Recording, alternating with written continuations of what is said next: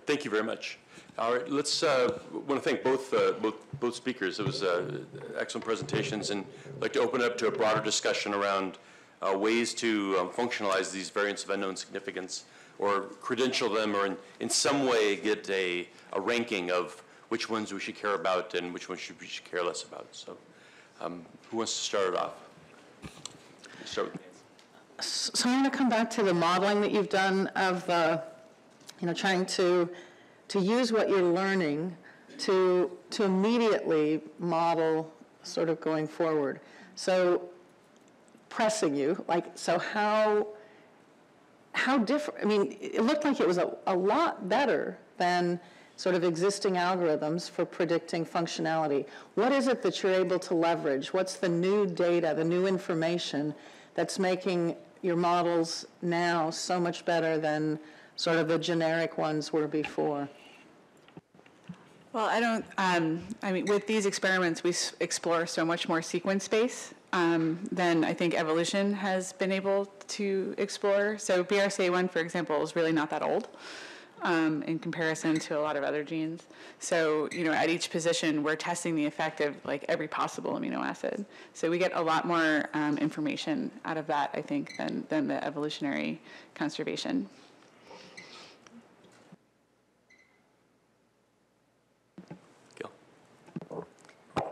So take a, a different example. Um, when you look at newborn screening and when people started adding new disorders, there was a work group and a panel, and now it's become official as part of the President's Secretary Committee on, and they came up with specific criteria, and it seems like you want something where you're going to, it's going to be fairly common, so all the individual intellectual disability genes, while they're important, very varied, so BRCA1, where there's some sort of treatment um, or something you could do again, and where there is a reasonable chance of developing the assay. And so I think to try to come up with some list of criteria, and then there are going to be all the nuances, and then um, some group, or to plug it into that and use that as a framework to me might make the most sense.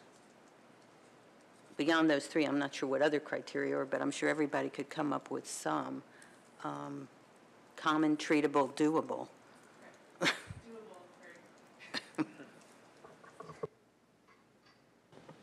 Can I, can I just ask, what is not doable? Are there particular things that are very hard? Well, of course, the bigger the protein, the harder it is uh, with anything that has to deal with, you know, sequencing or gene construction and stuff like that. So the bigger the protein, um, it'll, you know, kind of scale with size. Um, so, for example, I'm terrified of B- BRCA2, which is 350 amino acids. Um, yeah, um, we're, we're, we've been developing things for, for membrane proteins, you know, again, just trying to see, you know, do they get to the membrane, things like that. So there, those are questions that we can, we can start answering. But the things that typically make genome sequence-based analyses difficult, like a lot of repetitive regions and stuff like that, those are not a problem for you, is that right? Um, they, they may be, for example, um, you know, when we have to make these, these um, repair templates, sometimes, you know, making the, the, the homology arms to those, if it's in a really repetitive region, we have, we have trouble with that. Um, but once we get it cloned once, um, we can usually get at it pretty well. And the splice site issue that you raised, is that something that you can attack at, at all, or is it just not Well, within the realm? One of the things I think we're, we're planning on moving forward with is um, going with uh, the CRISPR-Cas9 based editing, saturation genome editing, and that gets both things, right? So if we can tie protein function also in, we'll get splicing and protein all at the same time. Um, we might not know actually what the effect is, whether it's whether whether the you know a, a, you know a depletion of that variant is due to RNA or protein, but it doesn't really matter. I mean, if it's if it's gone, it's gone. So. A couple of simple questions actually for Leah. So with the CRISPR editing, are you mostly making homozygous changes or will they mo- mostly be heterozygous? In? Um, in this case, because we were looking at RNA, it didn't matter. Um, But for, uh, going forward, we're actually going to be knocking out one copy and I then see. targeting the second. So you'll delete one copy entirely and then Exactly. go, yeah, right, that makes perfect sense. And re- regarding the splicing changes, so maybe I misunderstood, but it seemed as though your assay would allow you to pick up exonic splicing changes. Can you also pick up intronic?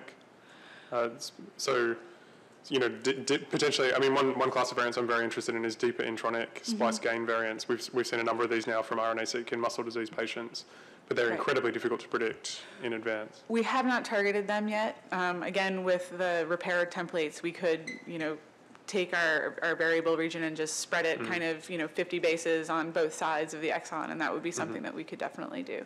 Although the only problem is that when you're trying to sequence the RNA, Yeah. it's not there, Right. but it would drop out from the gene, from, it- you know, if you're selecting for function of the protein, you know, those variants would be depleted from the mm-hmm. genomic DNA too, but not being able to see them in the first Yeah. place would be the, you know, kind of an absence of evidence kind of situation, so. Yeah, that's what I figured. It seems like, at least with, with exonic variants, you can see it directly in the cDNA, so that makes life a lot easier. Yeah, I so that, that might be a harder thing to do, Okay, cool, thanks. yeah. All right, Scott, and then Mike?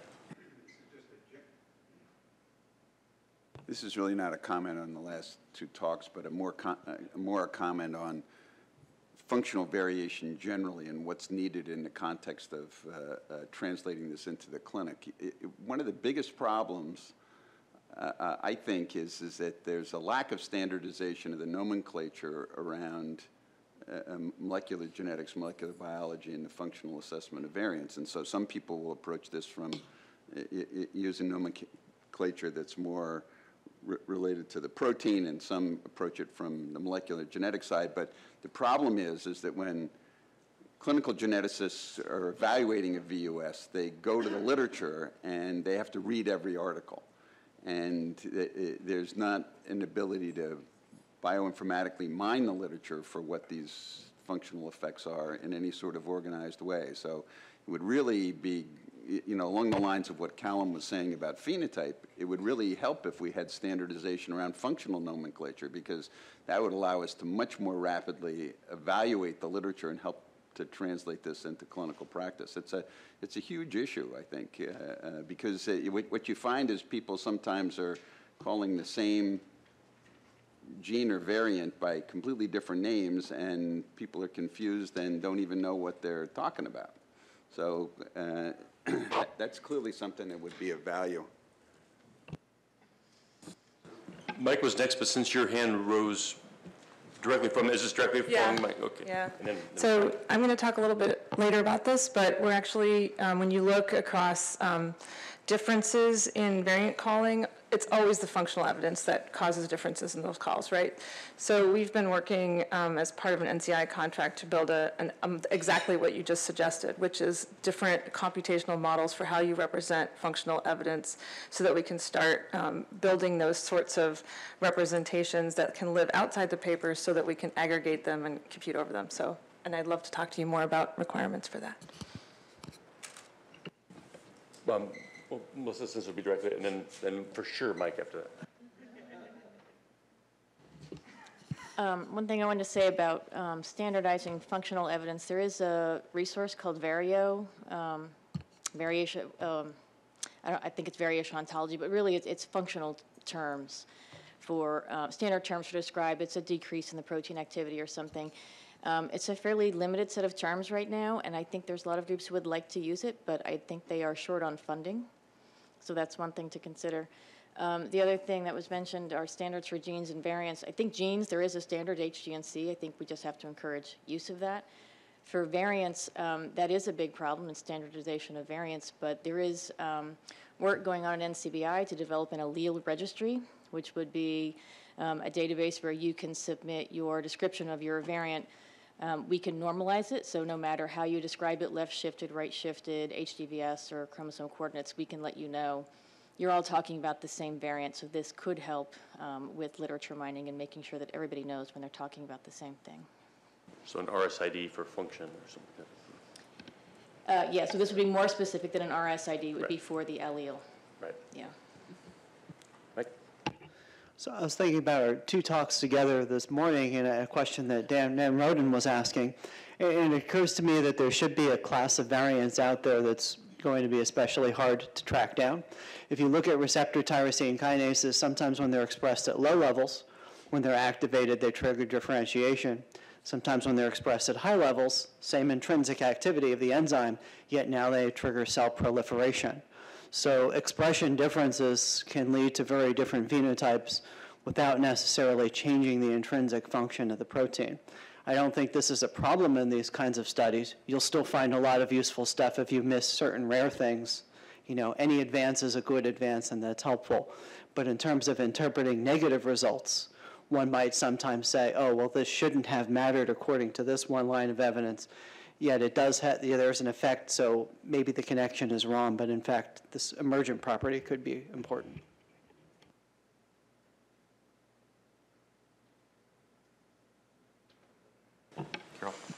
So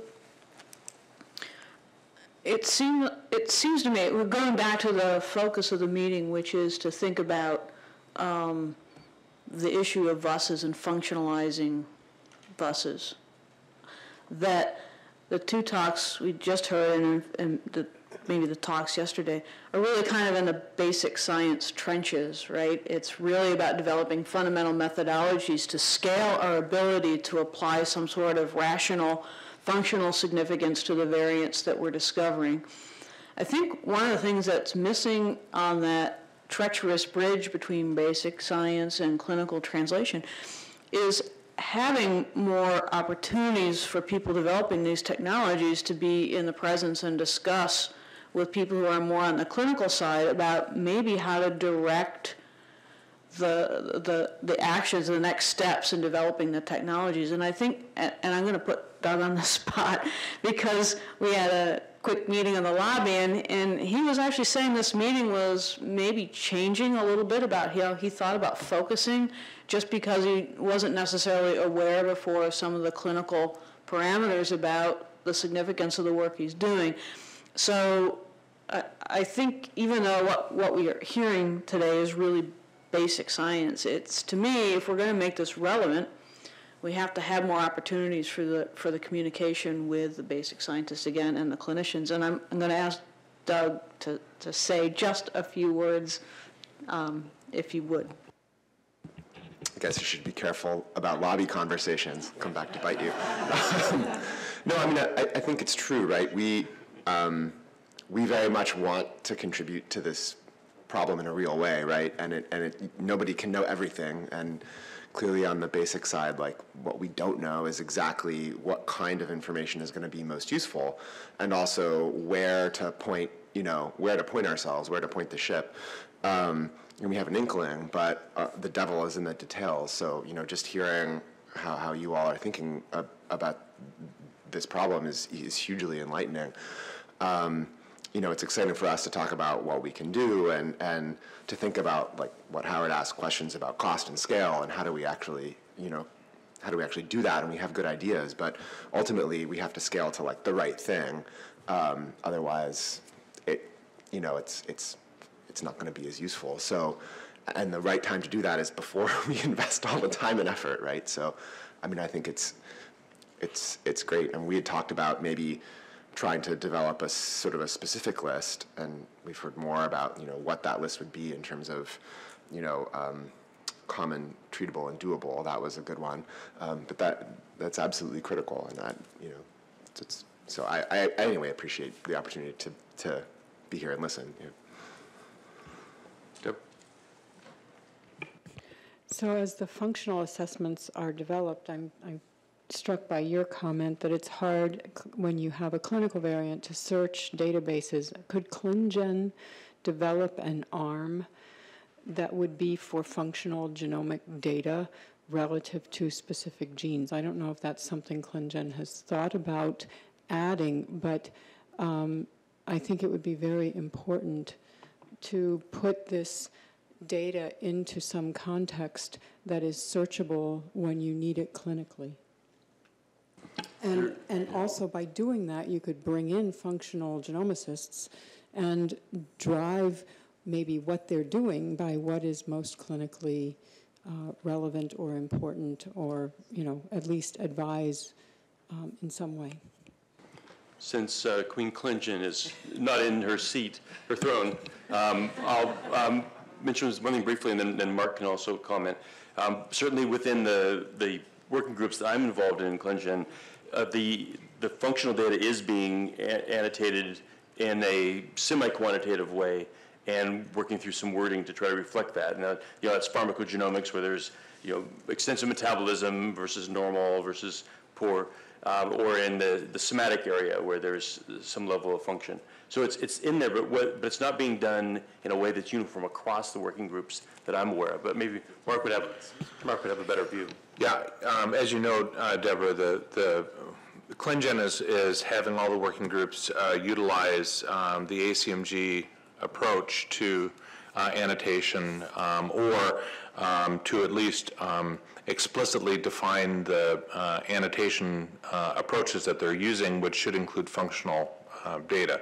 Now, at the present time, the um, actual ability to access the functional studies uh, wouldn't be available through the site, but the, I think as Howard pointed out, um, that information is certainly being considered.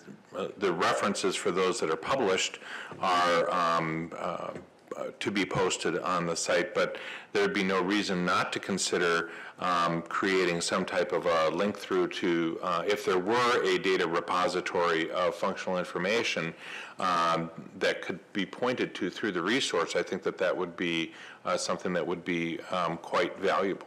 Well, my only thought is that that's helpful if ClinGen is working on what mutation you happen to have found or what gene you think may be causing your patient's um, disease process or symptoms. But if there were a repository somehow of functional data across the genome of whatever investigator is doing whatever work that's functional genomics, it, you could access it as a clinical search even if ClinGen isn't targeting that specific gene yet. Yeah, I think that would be something that would have to be thought about within the scope of ClinGen, which has been primarily focused on being a clinically relevant variant resource. Um, and uh, I think one of the discussion points is, well, how it's not to say that this isn't clinically relevant, but it's probably not clinically relevant in terms of the target audience uh, that we're thinking of for ClinGen. So then the question comes up is we have the ability within ClinGen to aggregate other resources, and we've already done that uh, on the website. So if a resource like this existed, would it be of value to have um, that represented on our resource page that people could then go through ClinGen uh, to actually access it. And then for those um, uh, variants where the functional information is directly relevant, then you could uh, uh, link that. Now, Mike, you want to jump in on this? Okay, Yeah, no, I, I don't know if this would be considered to be clinically relevant functional genomics or not, but um, there are two freely available resources, Regulome-DB and HaploReg. Both of those are connected to ENCODE, funded by ENCODE, and have ENCODE resource uh, information as well as data from other projects like um, Common Fund Epino- Epigenomics, GTEx, and so forth. And they could either be linked to by ClinGen or searched by anybody that has internet access. There's no password or sign in or anything. Thanks. Calum? Just to make the obvious statement that you could potentially connect the type of basic science assays with new clinical assays if you picked universal enough assays. Obviously, you need, in, in terms of the proximate assays that we were talking about yesterday, you need things at multiple levels of scale. But one of the levels of scale that would be potentially powerful would be cell biology actually in the clinic and have those cellular assays be represented universally in some of the basic science projects would immediately make the connections that we're talking about. So, Well, there's different levels of, of use. Um, you know, for trying to you know, publish and, and sell, that you want a certain quality of data. Um, if you're trying to choose between two therapeutic options for a patient that will be seen uh, on Thursday, uh, you just need a feather that will tip the scale. And, and that's where some of the data that, that you know, I, I think, Doug, you were kind of commenting about your, all your data, you know, it's not quite, you know, it's not quite this, not quite that. But it, we're in a situation, clinically, at least on the cancer side, where we just want some direction and we don't assume that we will be directed to perfect or to maybe even to grade. and you know, I'm not even sure if it's good, but it's it's something. Uh, because the, the goal often in our in the patients we're seeing are how can we keep them alive long enough to benefit from new science. It's not how do we cure them. I mean, we'd like to do that, but how do we keep them alive in a quality state long enough so when something that will cure them comes, they're ready. Um, and, and so in that case, just tipping the scale uh, amongst these two options is enough. So the, the bar in some contexts is quite low, and in others it's, it's quite high. No, I, I completely agree. And for germline conditions, you can imagine exactly the same. You don't need something that's necessarily line of sight mechanistically involved with the gene. If, with the way that we conceive of how the gene leads to the clinical phenotype, if you know that, you know, that cell state is perturbed in that individual ab initio, just simply because you have a massive repository of functional annotation uh, for that particular state. You know, we, we the one example that um, cellular electrophysiology is so powerful. One of the reasons the ECG is actually a potent tool is because, and it's representing what's actually happening at a cellular level. There are real linear correlations between a 12 lead electrocardiogram and what happens in a Xenopus oocyte. If we could imagine doing that across even, let's say, 10 or 12 domains, suddenly you have exactly the ability to do what you're saying you need in somatic cells. Um, Mike, and then Peter. So sometimes at this meeting, I've been hearing the tension between the importance of diagnosis, between the importance of treatment. And I'd like to bring out that functional genomics could have importance in terms of treatment. Imagine a patient in the clinic, they have a skin disorder. You have a variant, you want to know is that variant causal or not? But perhaps you could also learn from that variant, does that variant work in a lymphocyte, suggesting autoimmunity or inflammatory, or does it work in a keratinocyte or a melanocyte? And that could lead to treatment options. If you've got, uh, you know, exuberant lymph immune response, immunosuppressive agents could be a, a place to start. So that's another way that functional genomics could help, not just telling you which variants might be causal, but what the pathogenesis might be, and that could suggest treatment mode. I was just going to respond to Mike's point, which I think is excellent. Actually, in, in one of the projects in the Undiagnosed Diseases Consortium, that's actually the focus is because we find it not universally possible to get to causality with a single patient in a genome, can we get to therapeutic intervention based on pathway analysis? So. In all of this uh, wave of optimism, I, I, hope I'm not going to make a lot of enemies by saying this, but in my experience, the, the maximum path length between any uh, variant and any treatment is, is four. Uh, by anybody a beer who says, connect this and that with a path length of four in PubMed, I will find it. And so I think by, by providing that kind of a resource, that's an enormous responsibility. And um, I, I, think we're pretty far away from providing reliable clinical clues in a lot of areas. And I think if one does go this way, then it's really important to develop software that will basically not just provide links in a way that, say, Ingenuity software often does exuberantly, but also to provide the, the complete evidence, the provenance of statements, and also to provide um, contrasting ideas. And be, because, you know, human intuition is, is, great, but um, there's a high probability of misleading it in, the, in a certain direction based on some translink in a database um, with, with this type of software. Realism is welcome, just in moderation. uh, uh, Mark? Yeah, um, I think that uh, those points are, are, well taken from the perspective of going from um, a disease-causing variant and trying to um, uh, move into uh, therapy. But I think there's another approach um, that we haven't discussed much, which is to uh, say what are the opportunities to recapitulate the PCSK9 story. In other words, identify our unusual individuals that have not a disease phenotype, but have some type of a strong protective phenotype. In this case, you know, very low LDL cholesterol levels that have that also seem to have low incident cardiovascular disease. Um, that is due to a genetic knockout uh, that just occurred naturally that doesn't appear to have any sort of other phenotypic impact uh, uh, negative for the patient. uh, that then immediately led to a therapeutic intervention, which is, um, you know, inhibitor of PCSK9 um, that is now available for treatment that actually took place over a relatively short period of time. Now, the strategy of identifying those, um, uh, you know, resilient individuals and, and, and defining what those phenotypes would be would be problematic. But I think if we were able to define a handful of those and take advantage of large-scale uh, sequence data combined with the ability to do rapid functional assays to say what exactly is going on that's resulting in the phenotype, that could actually result in a therapeutic approach in a relatively short order.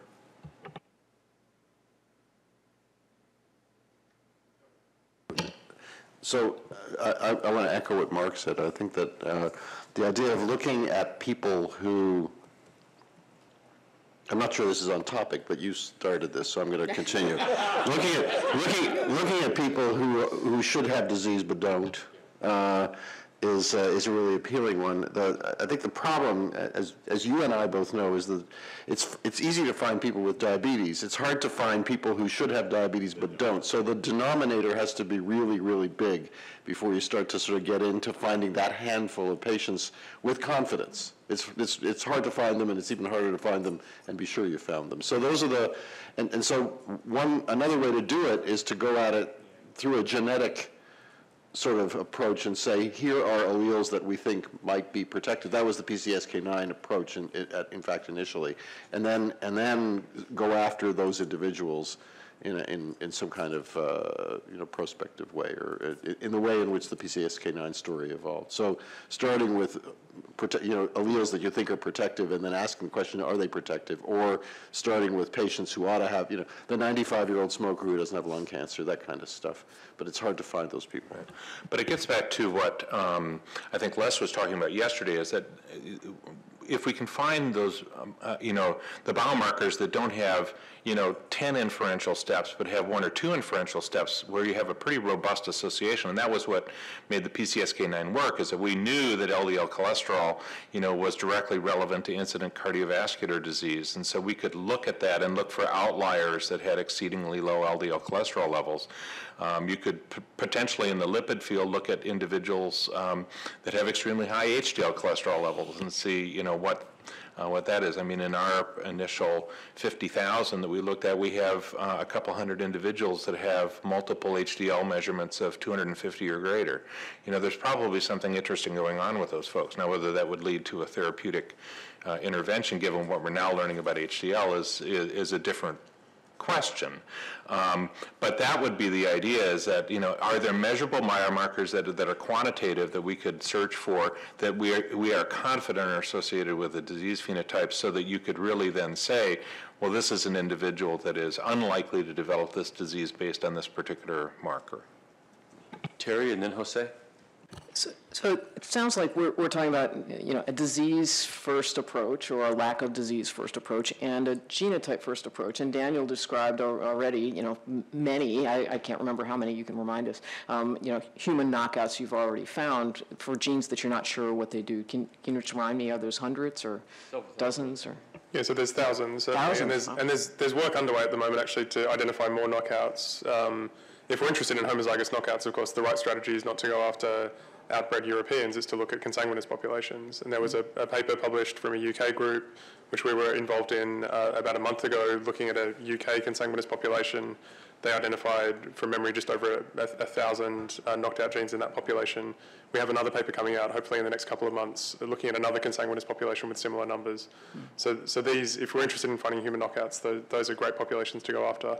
And th these, I think, are telling us a couple of things. The first is a, a, lesson that we learned a long time ago, which is that you have to be extremely careful about how you annotate knockout, so-called knockout variants. And many of these, the genes find some way of escaping what looks like it should be a, a protein truncating variant. There's exon skipping or splicing or some, something else that happens. Um, but, it, but even so, once you do get rid of the, the real artifacts, there clearly are a lot of genes that can tolerate a complete knockout in, a, in an individual who appears to be healthy, perhaps has some subclinical phenotypes, but, it, but definitely you know, is, is present in the population. I think that strategy is going to teach us a lot about gene function in a, in a set of genes about which we currently have virtually no, or, or in some cases absolutely no uh, phenotypical functional annotation.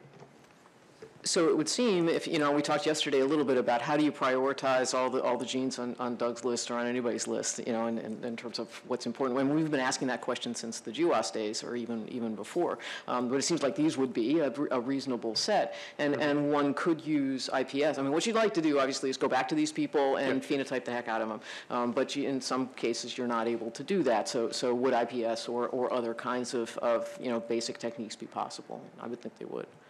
For sure. I mean, in, in both of these cohorts, it's actually possible to recall individuals for genotype-directed follow-up, and we've um, set, uh, there's there's been a, a, number of experiments like that that have already been done. Um, now, obviously, recall doesn't always work. Sometimes you lose the person, or sometimes you can't follow up. But uh, but I think uh, again, these are great examples of cohorts where, particularly the UK cohort, was collected right from the very beginning as being a cohort of consanguineous individuals that was deliberately collected as a group that we could return to and regenotype, uh, re- rephenotype when, when something interesting was found. Um, IPS, though, I think is a, is a good model. Obviously, there are certain types of experiments you can do in IPS cells that can't be done in humans, and it's nice to be able to look at um, exactly, particularly for validating whether or not a variant is actually loss of function. Often what you need to do is look at the expression of the transcript or the protein in whatever tissue that gene is supposed to be expressed in. And in, for many of those tissues, you can't biopsy a living human to get that. So having IPS cells that you can use to validate those findings is extremely useful. Jose, and then Mike Murray. This was uh, related to these resilience genes that we are talking about. I was going to comment that about that this afternoon, but it's, it's already on the table. And uh, I agree with the difficulties because, for example, uh, talking about lipids, a monogenic disorder, well, relatively monogenic disorder like it's uh, FH, right? Familial hypercholesterolemia. We thought, I mean, we had collected about a few thousand people with FH, and there were people there with very high LDL cholesterol and no disease at all. So it was a given. We were going to find with GWAS uh, the genes that were responsible for that protection. We couldn't, even with uh, that clear phenotype. Uh, and then remember the paper that was published uh, last week in Nature Biotechnology, in which they took the same approach, but they did it with 600,000 people. And they found 13 people that they had to have a disease, but didn't have it. The complexity comes in that the uh, investigators were not able to recall these 13 people to investigate them further. So great uh, finding, with a very large uh, population, minimal, fi minimal finding, but maybe very, very, informative. But we are with our hands tied because we cannot back to them. I mean, if nothing else, it gives Dan Roden a number of how many people he needs to search. Yeah. You know, it's, it's 600,000, Dan. Yeah. yeah.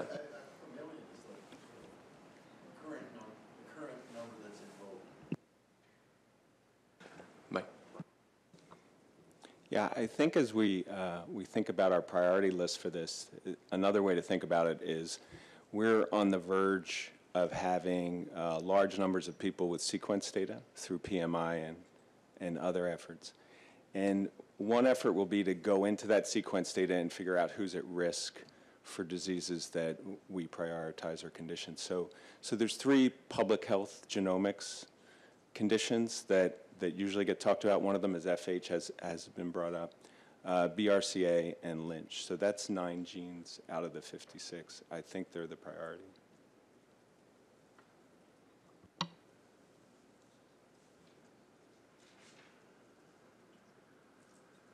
Now, one thing that was mentioned, uh, I think Daniel mentioned it when, during his, is there's a, a number of genes uh, that that um, have you know KIAA and a bunch of numbers or whatever, and we don't really have a clue what they do. And uh, those genes, there seems to be a, a, predilection for finding something really interesting in a gene like that, um, and maybe we just remember that sort of thing. But uh, be interested in in strategies for uh, high throughput, high uh, at least maybe somewhat superficial strategies for trying to figure out what do they mean. And Nancy, maybe you can kick that off. Well, one of the things that I'll talk about this afternoon is this gene by medical phenome catalog that we're creating at Vanderbilt using the genetically predicted expression of genes. So you can think of a big knockdown experiment for every gene in the genome um, that we interrogate at least through GTEx, and an upregulation experiment on every gene in the genome um, where we're looking as, at the readout as what of the medical phenome is associated with the altered expression of these genes. And you're absolutely right. Of the genes with unattractive names, the KIAA and the, you know, C1 or 163, there are, there are hundreds of genes that have the same characteristics with respect to the phenome that they attract on, say, reduced predicted expression of multiple congenital anomalies, intellectual disability, and a lot of other bad phenotypes. There are Mendelian genes in waiting.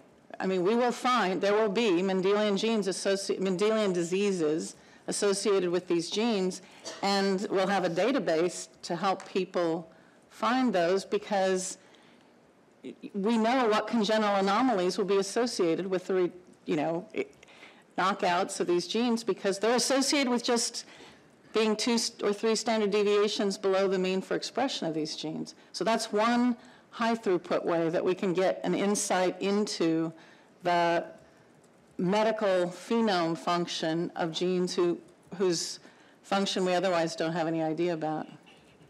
It's funny you call them uh, unattractive or whatever. We actually had a discussion. They're unattractively named. Named, They're yes, yes. beautiful genes. Well, we thought about giving them a name that had cell death somewhere in there because then everyone would work on it, you know. Because uh, so, um, Melissa, and then Since this is um, today, I wasn't here yesterday, but today seems to be a little bit about cross-species um, informatics. I just wanted to mention a resource that we work closely with, with which is the Bgee resource, which is a cross-species gene expression um, database. And as I've seen, as I'll show later, there's you know there's a lot of data in the models that we just don't have about human genes. So if, based on orthology, if we combine that ortholo orthologous um, gene expression patterns from that resource, and that's a fantastic resource with the kind of work that you're doing, we might actually get somewhere. Great. Is this it? I, I just want to just remind um, everyone, I think everyone knows that the KOMP project really has generated a huge resource. So one could always look up your favorite KIA gene and find the mouse ortholog. And there may be actually information um, about whether it's uh, viable um, because a lot of the, the genes are now systematically getting knocked out. And then as I mentioned before also with mutagenesis, there are a lot of alleles being generated from many genes and in some cases they're incidental, but if you know the, um, the nature of the screen, then you, you might know whether it's actually, if it's embryonic viable, because there are screens, for example, adult phenotypes, and incidental mutations come along, they may include your favorite gene. And so um, if there's a way you could search that, and I, I know that um, there's a large-scale um, screen for immune dysfunction genes, so these are largely adult viable. I think all those mutations are also curated um, in MGI. So if you type in the gene name, you actually can pull them out. And so, um, so that may be some way to resource um, information that may already be in the, uh, in, in, in, the databases.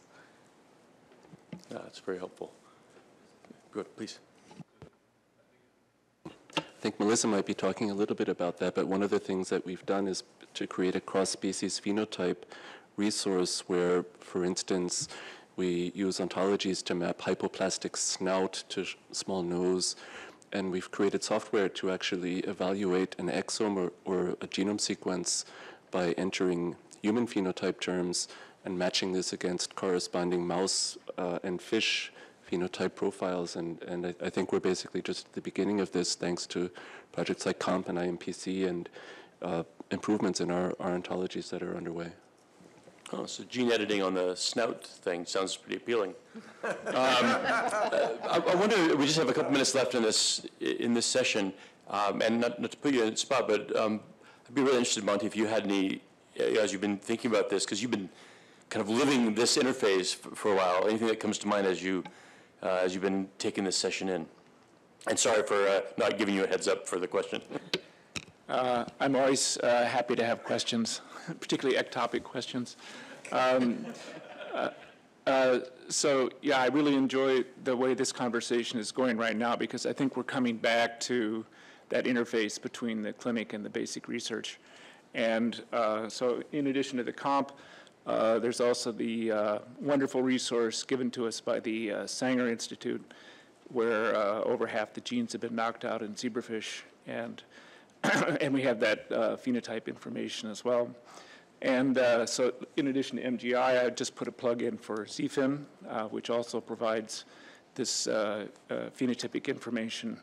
And uh, the resource that Peter and Melissa is working on really closely integrates that information with human data. So these are resources I think that clinicians in general really don't know too much about.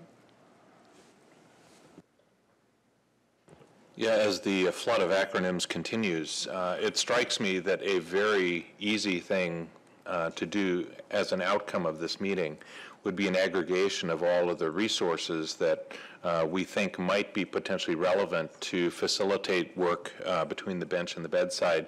And so, you know, a, uh, um, a- an actual name with the acronym plus a brief description of what we think that would do that could be distributed and potentially even uh, posted um, uh, somewhere in the NHGRI, I I think would be uh, very useful and would be a very um, tangible output of the meeting. I, I received a text last night from one of my bioinformatics colleagues who requested that I just have one email with all the different sites that he want, that I want him to look at, because I was sending him an email every time one popped up yesterday. And he said, you know, please, you know, you know, before I put you on my spam list, uh, just, just put in one, right? Anyway, all right, um, two last uh, comments before we uh, finish up? So, so to take that idea a little further, Mark, it, it, a list of all the resources would be nice, but, uh, you know, a, a long, a medium-term goal or a longer-term goal might be to figure out ways of actually having those lists talk to each other. I think Dan said this la yesterday, and Doug said this yesterday. I think that, that, you know, you'd look up a variant, you might start an ExAC, but it would have a link to something with a link to something else, with a link to, so, or, or all in one place, just sort of saying, what is the totality of the evidence uh, where is the evidence? So maybe there is evidence in ZFIN or not, uh, but if there were, that would be listed. And and so some way to integrate them as opposed to making us look up 27 different data sites. Yeah, I noticed Wendy is uh, uh, absent today, but that seems like a a definitely, and, oh, I'm sorry, oh, you are here, are you were hiding, you were hiding. Yeah, Quiet as usual. Where's Yeah, Wendy? right. Dun, dun, So that sounds like an excellent job for NCBI, I think. My, my comment was on the same vein, some, uh, a list and then working with each of those resources, even like an API, a standard API, that would let MD who wants to query them, send it that query and have something returned using good mappings for the different uh, orthologs from all those resources would be great. There's some work in that direction already, but it's not comprehensive and it's not totally aligned. I, I would just add, I mean, a lot of the model organism databases already do have um, uh, human disease orthology pages uh, or uh, orthologies between different model organisms. So, you know, maybe some resource that collected that all in one place would be helpful. And maybe you're already doing it. We're meeting in May to talk just about that, yeah.